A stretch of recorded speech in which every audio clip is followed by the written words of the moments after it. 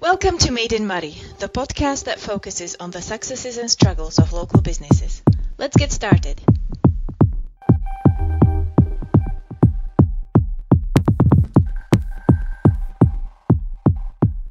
My name's G. I'm your host, and today I have with me through the power of Skype Adele Napier, who is a personal, professional, and organizational consultant and coach. Thank you very much for joining me today. And where exactly are you at the moment? So this morning I'm in my office, uh, in my home in Findhorn, mm-hmm. uh, which is where I do part of my work from. Okay. And I think you do quite a bit of traveling as well. So you're not always in Findhorn, right? You, you travel to other parts of the country sometimes? I do. So I do part of my work um, from here, but I also go into organizations, um, in the local area here and also a bit further afield. Ah, wow.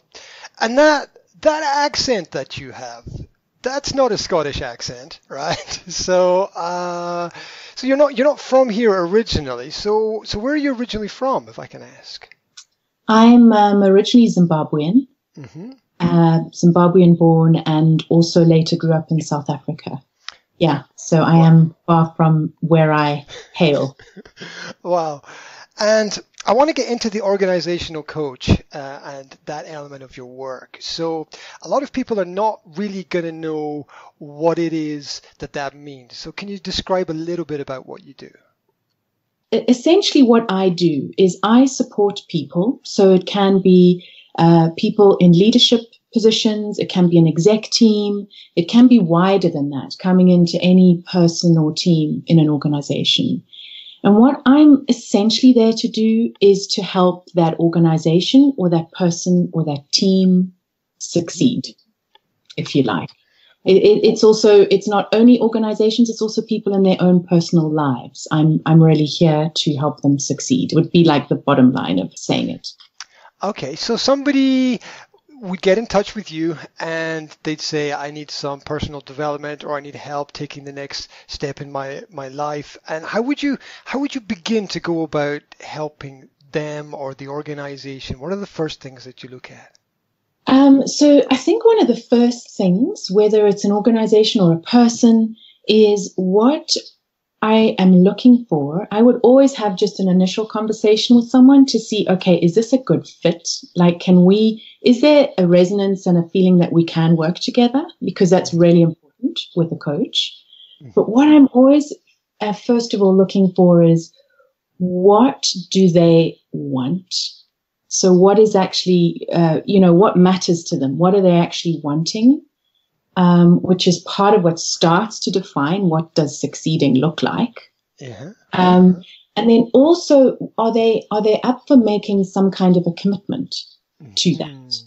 Because I think of uh, you know, a lot of change does come in the like a blink of an eye, but usually there's a lot of time before that blink of an eye where we're preparing the ground for it. And I think it, it does often take a bit of a commitment um, and with coaching or holding any kind of organizational process of change, you're going to hit up on a lot of resistance. You're going to, you, you, you, you're going to hit, you, you know, you're wanting to change some habits, change some ways of thinking, change some ways of relating. Um, and, and, you know, you're going to hit up against the things that get in the way of that. So you do, I am looking for commitment, some kind of whether it's a few sessions, whether it's, just sharing more about what they're up for putting into mm-hmm. this. Does a does a goal or a target fit into that element of commitment? Is is that necessary to have some kind of uh, clear endpoint?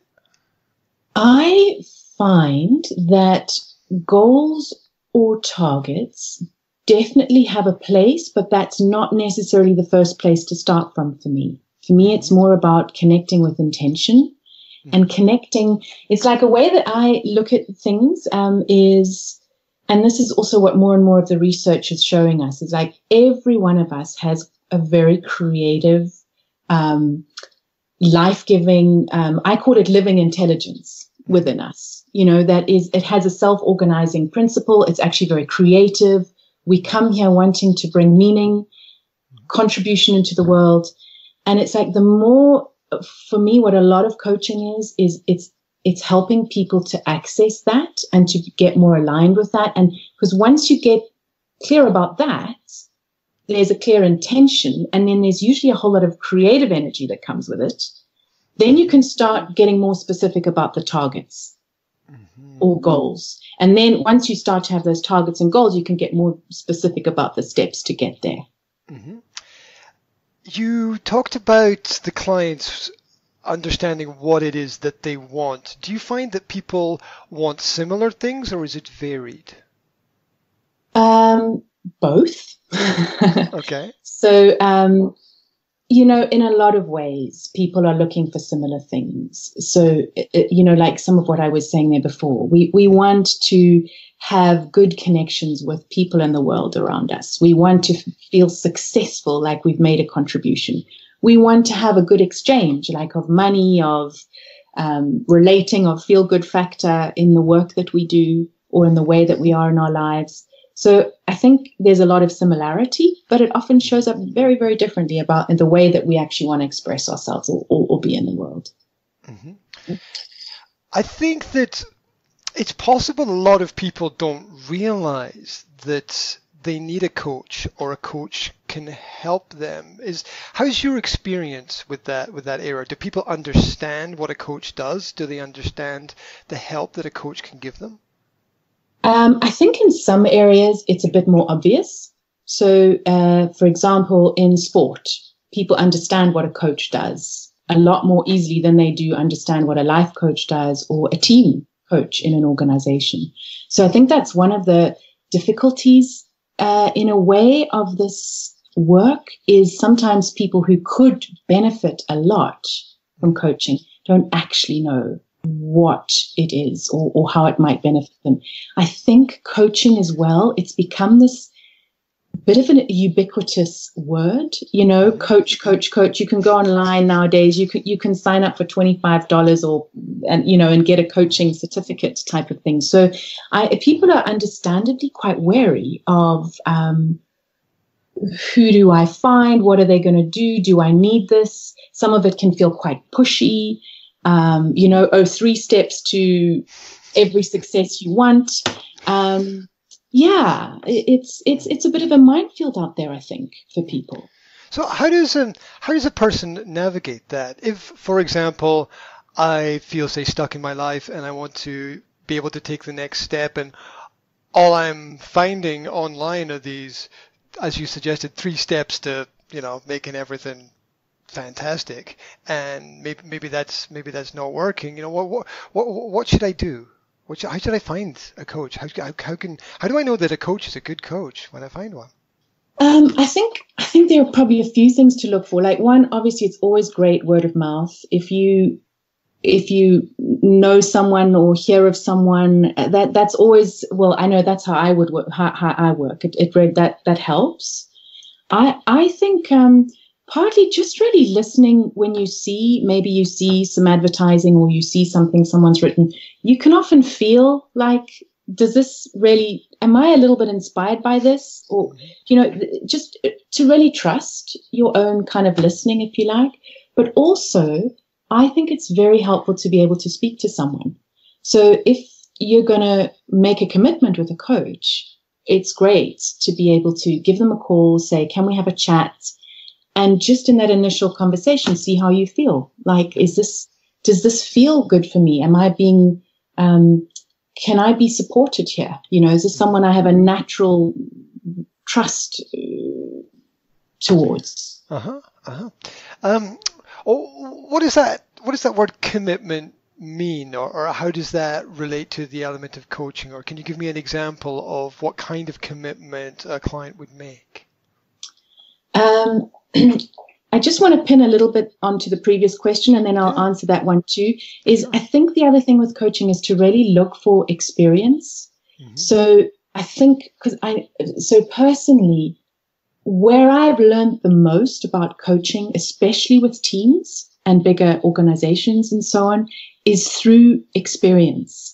And then in a way, in my own way, being supervised and learning through that experience. So it's helpful to, I think, when you're looking for a coach, really find out a bit of what they've done and where their experience comes from, that it's not this, something just theoretical, because it isn't a very regulated body right now with coaching that requires all of that.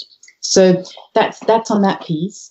Um, in terms of commitment, uh, what I mean by that is generally the way coaching will work is you will sign up to a certain number of sessions.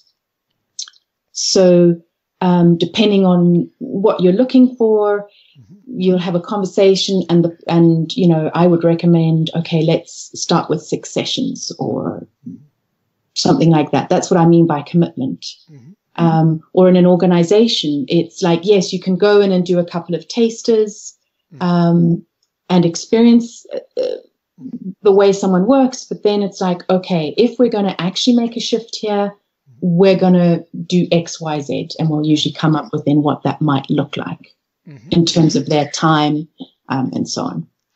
And do clients get uh, some sort of work that they have to go away and do by themselves? Is it just that they, they, they sit down face to face with a person or meet a person online, or is there some element of something like homework as well that, that goes into it?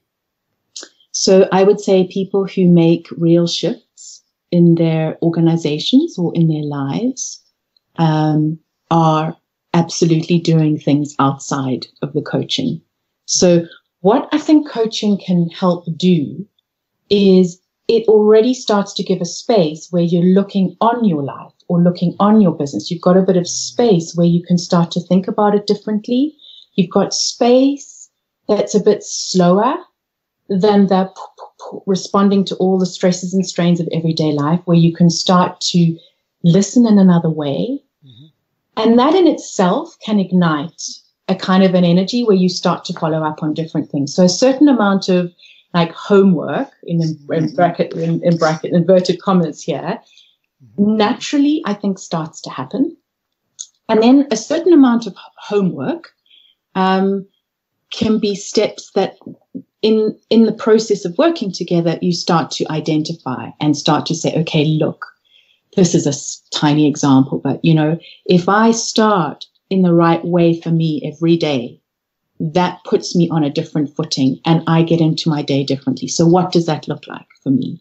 You know how am i slowing down my whole nervous system? Mm-hmm. because we all know that we start to think differently we're more creative we have more access to um, the life force, that impulse in us, if we move away from this parasympathetic system, you know, all the science, all the data is showing that. What helps me do that in my life? And if I can start to develop some more um, clear habits, mm-hmm. I can actually start to make some real, real shifts. Mm-hmm. In in that element of uh, a kind of holistic approach, is is the focus for coaches more on on the brain or, or the the body? Because uh, I think it's hard for, for people to understand what actual progress means. Perhaps it means something different for different people. So is a coach looking to improve improve the brain and the mindset, or is it a body related coaching? I don't see those actually as very separate. In a sense, in a coaching session, when we are in conversation, I'm listening to, and over time, uh, you know, uh, uh, soon enough, we're we're both or in a in a group coaching session, we, we're we're starting to listen in all of the different ways because I think our bodies inform a lot. Like when we start to listen to our bodies, sort of felt sense of some of the, the things happening, we we we start to get more information. So, for example, if we're having a conversation here, there there would be some um, sometimes when you speak, I'll notice that I am not so interested in, in a sense. I, I don't mean that. I just mean I notice my attention isn't as drawn in mm-hmm. to what you're saying. And I then sort of notice, oh, this might be a little bit more of a habitual way of thinking and speaking that you're doing, for example. And then I'm list, so I'll become a little bit more aware of that as that. There'll be other times in the conversation where you'll say something and I will literally feel, maybe I'll feel like a little more energy coming through my body or whatever. So, and then I'll know, ooh, this is interesting. This feels like it's maybe got a little bit more um, gravity, you know, gravity to it. Mm-hmm. I'm, I get curious about that. So uh, coaching uh, for me, if we're really um, making full shifts, they, they occur across the whole of who we are. And we use the whole of who we are in the process of understanding. Well, that is perhaps one of the most beautiful descriptions of coaching that I've ever heard. I just have to tell you that right now. That was that's quite incredible. And if anyone's out there listening to this, I urge you to go back and listen to that again. because there's there's a lot of information contained within that that answer. You're obviously very passionate about the work that you do. Have you always done this kind of work, or did you transition into this from something mm. else? Good question. So um, I think, like many people, actually in this work, I have done uh, you know quite different things before finding my way here. So actually. Um, I'm pausing here because I'm just deciding how, what layer, you know, what sort of, uh, there's, there's different ways of answering this question. Absolutely. Uh, I, um, just to just just to add on to the question, yeah, mm-hmm. the, the reason why I, I ask is is simply because I think for most people life is not a straight road and Absolutely. there are there are many twists and turns some of them expected and some of them unexpected and one of the great things about what gives us the knowledge we need to live our lives at the present moment is the variety of different experiences and challenges that we've had in the past. So um, I'm pretty sure that uh, most people who I know who are coaches have had a past that's a variety of fascinating and interesting experiences. So um, take, take, take it any way that you want. Yeah, so um, as you say, life you know, to get from A to B, which is actually really also important about coaching mm-hmm. and why I'm not always immediately goal and target driven is we often, it is often a very, mm-hmm. it, it's not a straight line. Yeah, it's the river, but, it meanders. Yeah.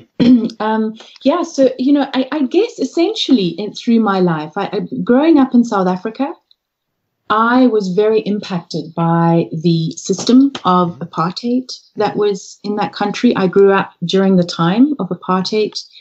I was fortunate to also grow up in the time of Nelson Mandela and a big change and all sorts of new possibilities and things. But I was very affected by apartheid when I grew up. Um, my first, if you like, my beginning of my career was more in the corporate world. So I worked for a big multinational um, I was involved in brand building business. Mm-hmm. Um, I loved, there were such good people doing mm-hmm. such creative work, and I felt very stimulated, very, um, I learned a lot. But interestingly, I found that there was something about the system that had a similar ring to it mm-hmm. than the almost like the apartheid structure. It's like I think in our world there is so much that we are part of that is in some way, let's call it power over. Whether it's power over nature, whether it's power over different groups of people, uh, whatever it is. And I think there was just something in me looking for more. Um, or some, something in me was looking for something different, like a more life-giving way of, of being.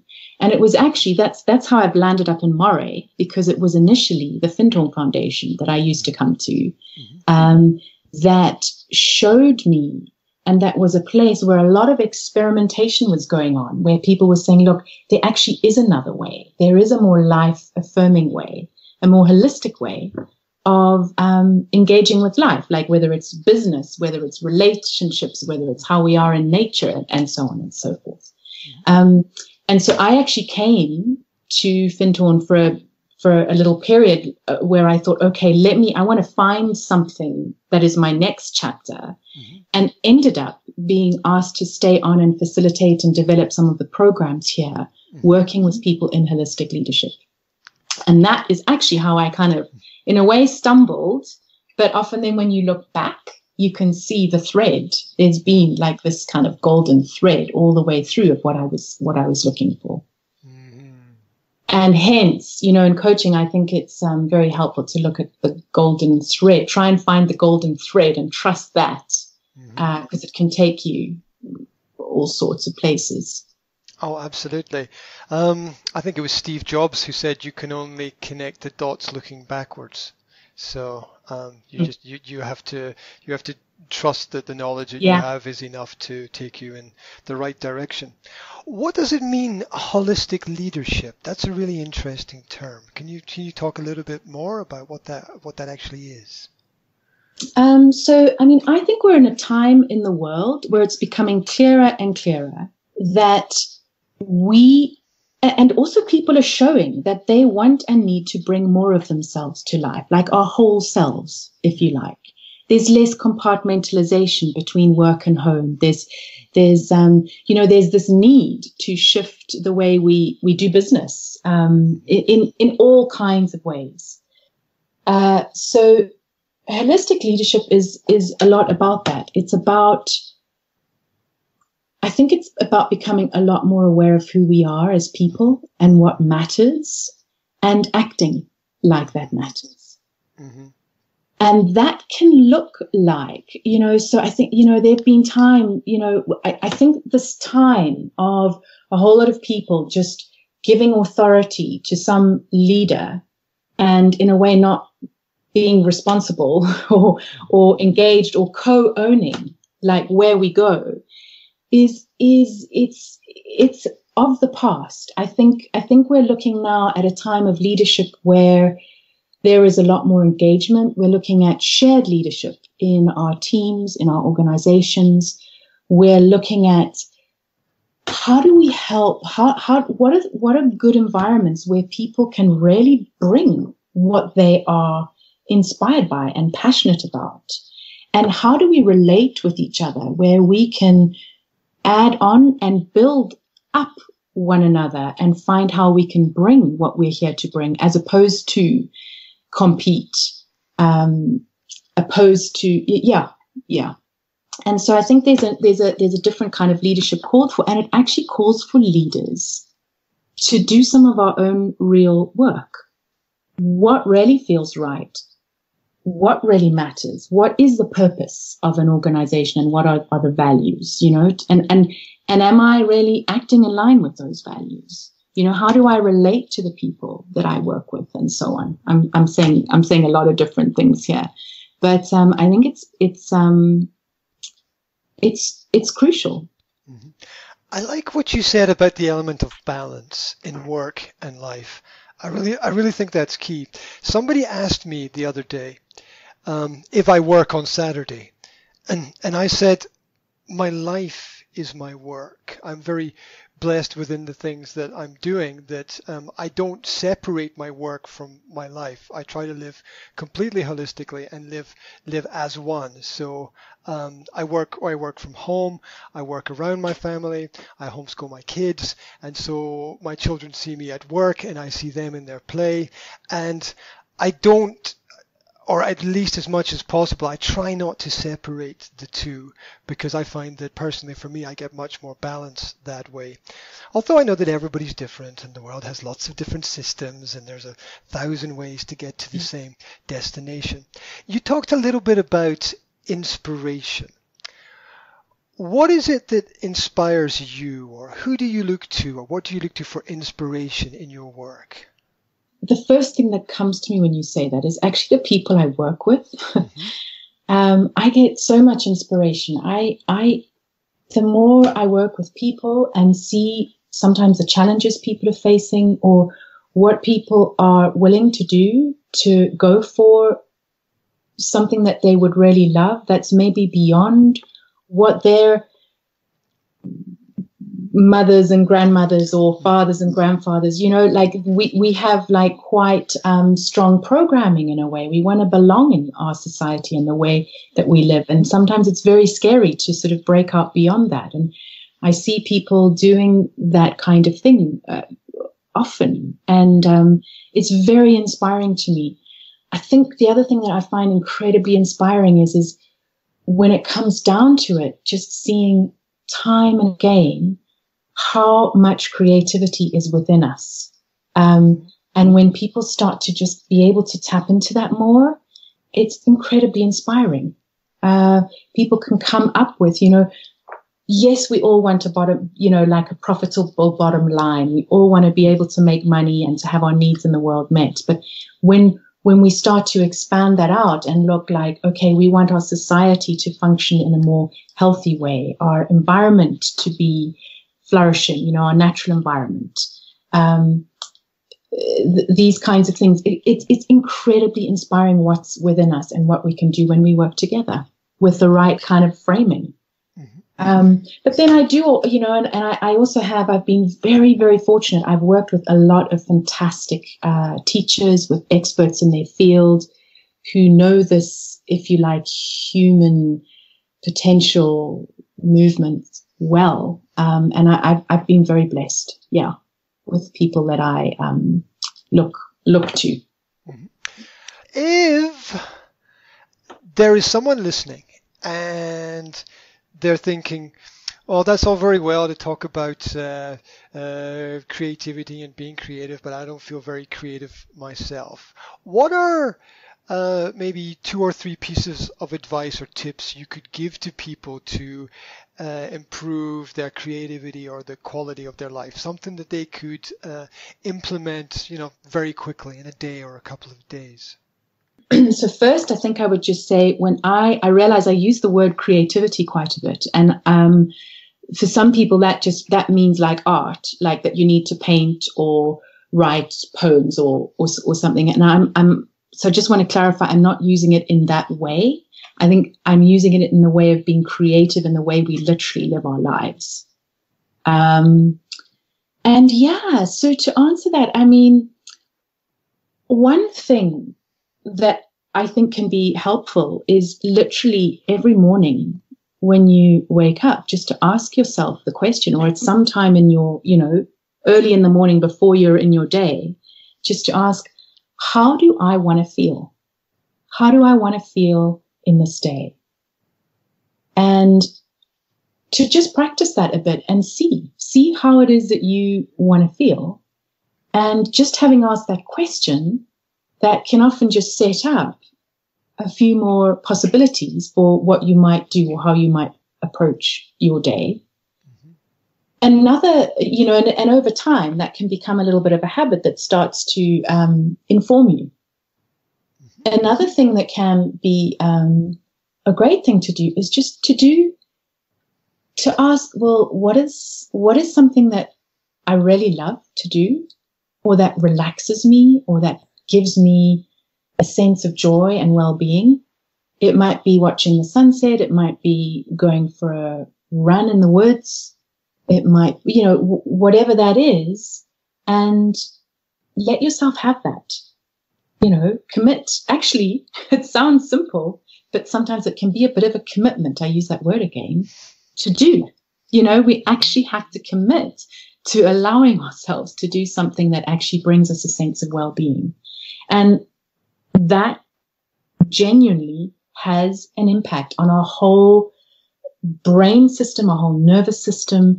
Um, it relaxes us, it, us, and it allows us to kind of connect with a sort of creativity that does not come from using the mind in its same um, mm-hmm. loop that it often is in. Oh, those those are great answers. Um, just so that I get it right in my own head, um, the first thing was to ask yourself, uh, how do I want to feel during the day to, to understand that the direction that you're giving yourself. And obviously, if you start the day in the right way, you've got a better chance of uh, getting somewhere. And um, the second thing is understanding the things that you love to do, understanding what uh, makes you happy and allows you to connect with the creativity inside of yourself. I think that's uh, great advice for anybody. For and then of course do do something. Like if you can you know take a step at some point. But you know just the start of that it opens these little possibilities. It's incredible what a little crack you know leonard cohen it's the it's the crack that lets the light in. It's it's um not to be underestimated. Uh, yeah. Oh yeah the um, you know the power of a candle in a dark room right? Um, great points great points. What are some of the hardest parts of the work that you do? Because obviously you enjoy it and you're passionate about it, but there must be elements of it that get a little bit tough and a little bit difficult at times. So what, so what are the hard parts for you of uh, the coaching elements?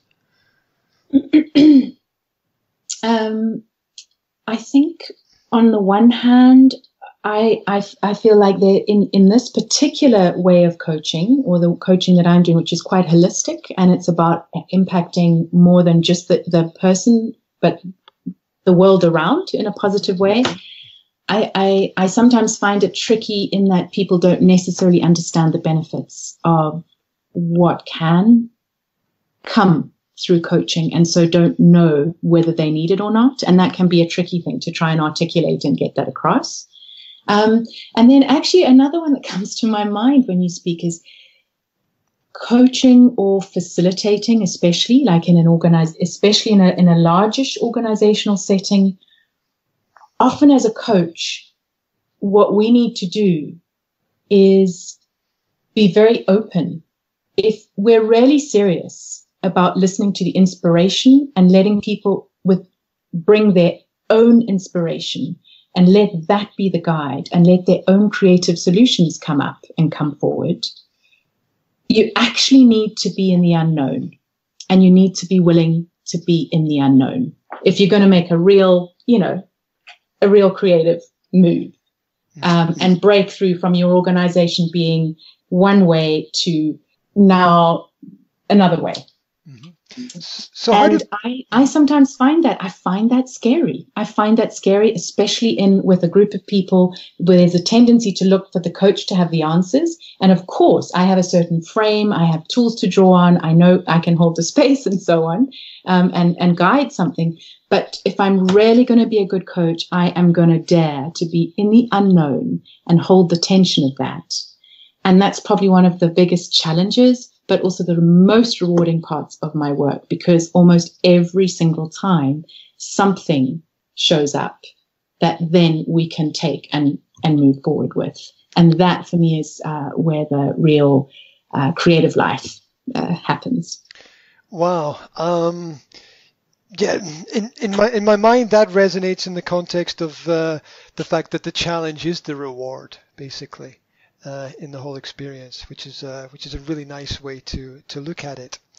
How does a person break through the fear, or how does an organization get to the other side of the problem? I know it's a it's a big question. It's different for everybody, but uh, one thing that I've noticed working with a lot of people in business is there's a lot of fear under the surface. It doesn't matter if you're an individual trying to improve the, the betterment of your life or a business trying to make the next step. There's always a lot of fear there in the back of people's minds. Uh, what can people do about that kind of problem?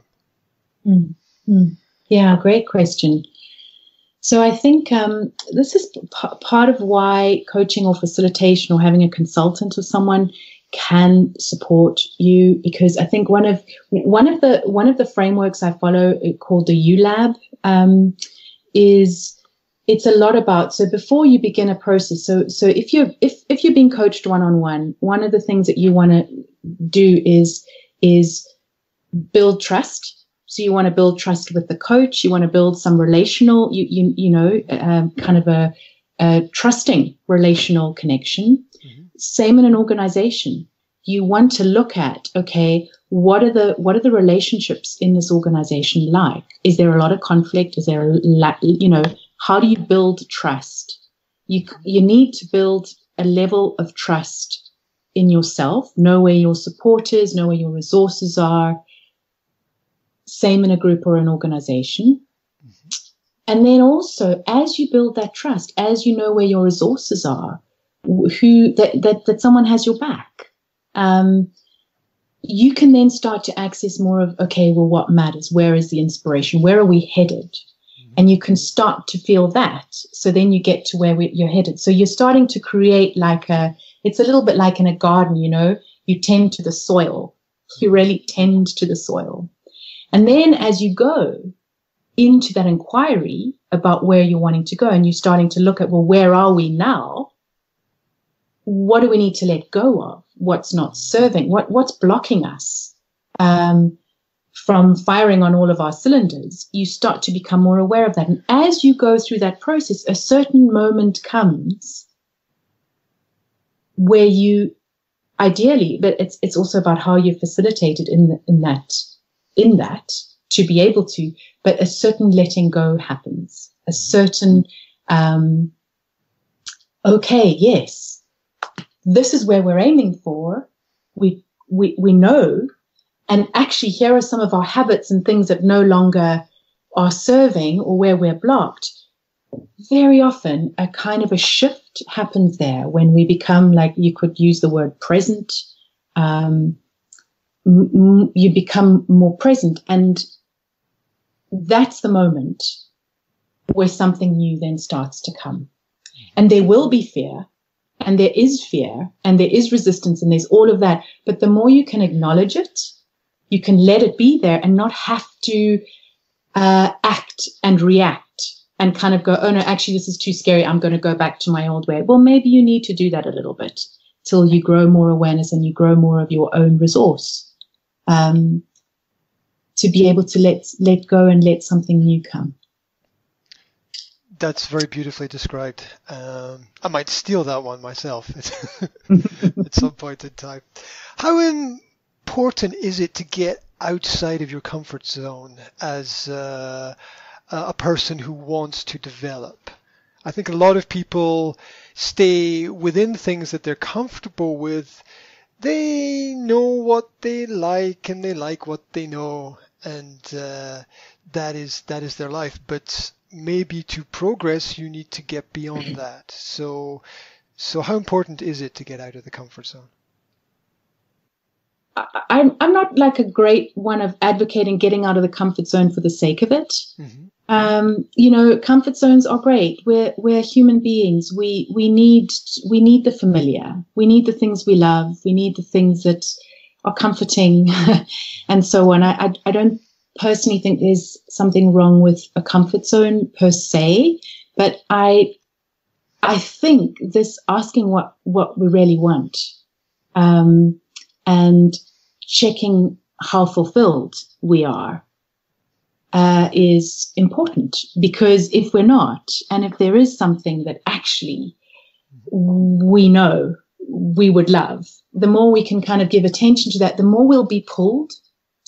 Um, yeah, I, I guess I'm hesitating a bit here because I guess I've seen too many, I think we all know too many New Year's resolutions, you know, where it's like I can set all these things that take me out of my comfort zone. You know, if I'm wanting to learn to, to jog or run or something, I can suddenly go through this spurt of doing all signing up for all these, you know, couch, couch to however many Ks or, or so on, which are great, by the way. I mean, I think these things are good, but if we're just going beyond our comfort zone without bringing the rest of us with us, or knowing why or having our being really connected to our own sense of oh this is good. This this i really want. This matters. This is worth going out of my comfort zone for. That will tend to be a more sustainable change. Mm-hmm. oh absolutely. There's there's a danger as well in going out of your comfort zone if you don't do it in the right way. Um, you know all of those people rock climbing with no ropes, right? yes, yes. it's, and uh, it's great to go out of our comfort zone. I mean, uh, you know, it's it's fantastic to go out of our comfort zone when we are when we have ourselves with us, if you if you like. Mm-hmm. Yeah, mm-hmm. yeah. Yeah, I, I, like that. I like that. I have to remember to take myself with me when, when I when I go somewhere. Um, uh, if you could wave a magic wand and change something about uh, your work or the world around about you at the moment? What would you like to see change? It's a bit theoretical, I know, because we don't have magic wands, but. Haha! uh, or maybe we do. I guess I see so much possibility in the way we can live as people, but the way also that we can run our businesses. Um, I think that the way we the way we live without sort of necessarily questioning it much or or just going on with business as usual this is obsolete in our world today. This is it's obsolete. Mm-hmm. So for me, I just see so much potential in uh, learning to listen more into our own innate living intelligence as people, as organizations, and learning to look at the bigger systems that we're part of, and and um, seeing how these can really help us to do something more creative that is supporting the planet, supporting society, so, you know, all of that. So I guess I am, I feel like there's a huge amount of possibility. What would I change? I guess I would just love to see more engagement with that. Mm-hmm. Uh, and, and how does you know how how would that manifest? How would people engage with it more? Uh, you know, what would be the, what would it be in a sort of practical sense, or or an example of it, just to help just to help me in my mind get it get it get it clear. What does that mean? Engagement. Um, well, I, I, guess that's partly where coaching comes in. Is it's by starting to have the conversation of like, well, wow, what is it? What what what what am I really here for? What do I what do I want to do? What brings me alive? Mm-hmm. Um, or with an organization, it can be to look at, okay, yes, we want to grow the bottom line, but we also know that development at any cost isn't helping our mm-hmm. society, our planet, our, you know, we've got ourselves in a great mess here. Mm-hmm. So learning to look more systemically, learning to bring in measures that include the planet, include society, you know, bring bringing more of this in. So I think just by starting to ask some of those questions, getting into conversations more um, among business, among um, individuals. Uh, this is where things like group coaching can come in, you know, where you start to have groups of people together exploring things and we see how similar a lot of our, I mean, I think this is just one more point I want to make actually. Like a lot of our, the way society has developed in the Western world is it's all about the individuals, which has been a positive step in a lot of ways. But a lot of things are about me. It's about what I have. It's about, oh, I'm succeeded if I'm really wealthy and have a lot of things or, or wh- whatever we put on it. But it takes out like, well, what is the impact on the life uh, around us. So there's something about, and we can actually even do that with our own minds. We can say, oh, if I'm struggling in life, it's my issue and I just need to change my beliefs. and there's actually a whole field of kind of coaching and self development that is all about, oh, just, just change your beliefs and you can do and be anything you want. And I think that's really true in a certain way, and it's very important, and I work with that too. But I think it's also unhelpful if you don't look at the context and the system and the environment in which um, we are living. So, becoming more aware of uh, this is, I think, a great contribution for our, our, our world, but also the happiness and the well being of our own lives. Oh, fantastic answer. Um, everybody should hopefully understand the the impact that they have on the world through their work and through their life, and be aware of uh, you know what is happening around about them. What is it that uh, a community could do more to support the kind of work that you do? I mean, obviously, people understand and support some elements of communities natural, but what is it that people could do to support the work of a coach or help coaching develop? Um, to help coaching develop? Or to help an understanding of coaching, uh, or to help communicate to people that this option or opportunity it is exist it, it, it exists it's viable it's possible it, it's here. You're there yes. for people. Yes yes. Um i mean one very short answer is simply you know give it a go. Go along have a taster of, of a group coaching session or um you know have a chat um or um, speak to people who ask people about, you know, have you ever had coaching or, or, um, you know, there's, there's loads. I mean, I guess uh, when we're using this word coaching and when you're asking about coaching, there are just so many kinds.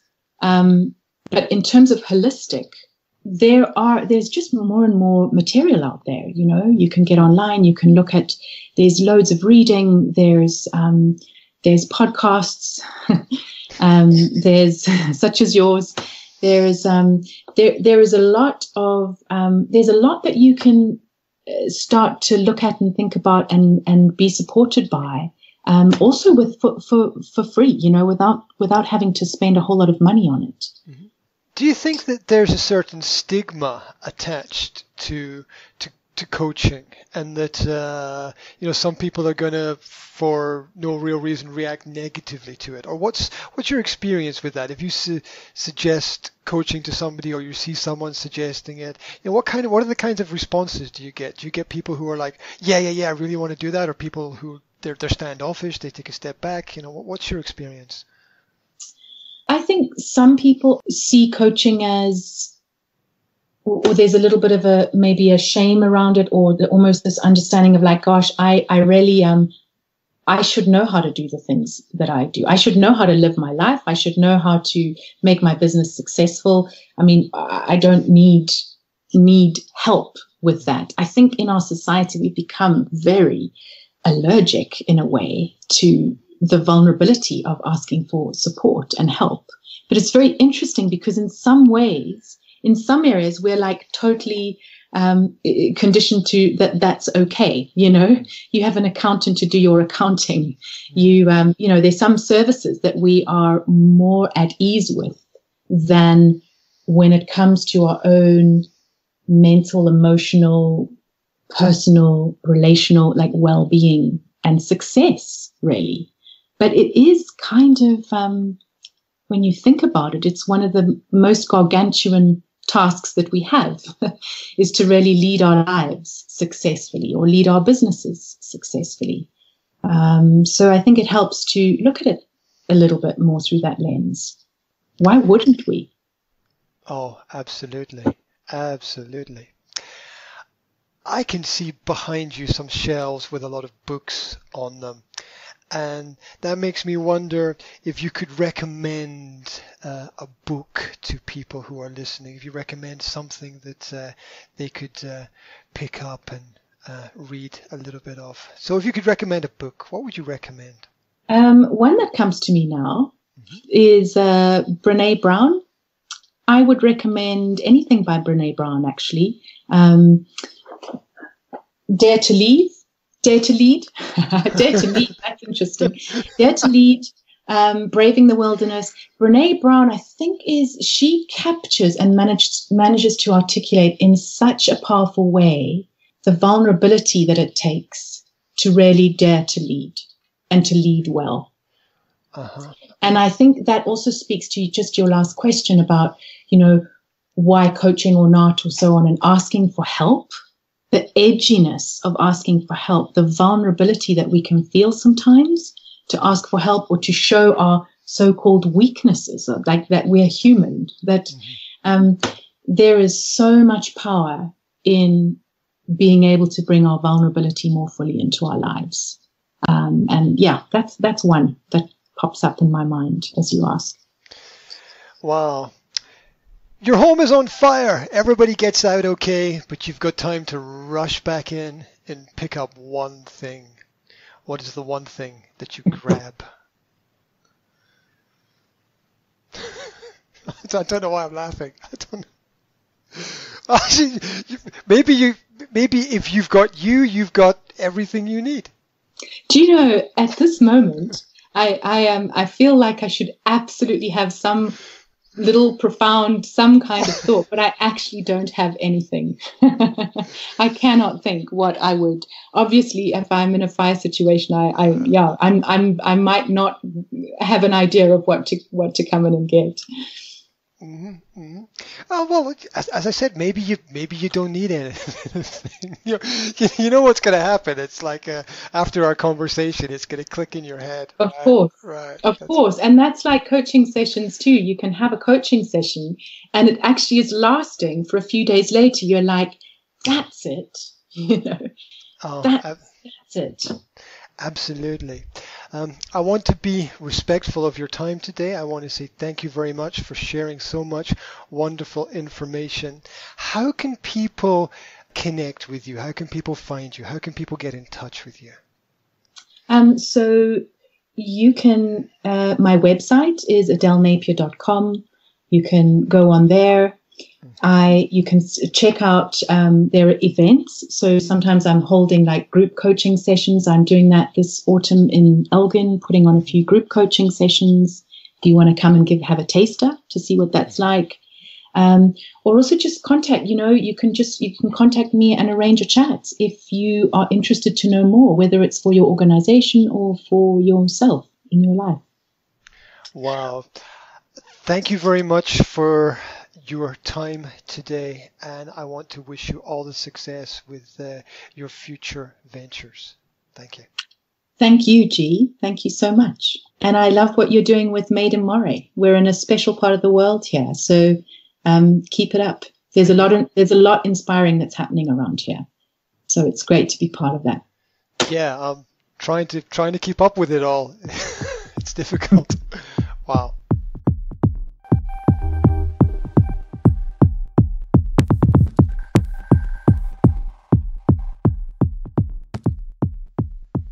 Made in Moray is a product of the Academy of Language Therapy and Life Coaching. Book a free online personal or professional development consultation today. What are you waiting for?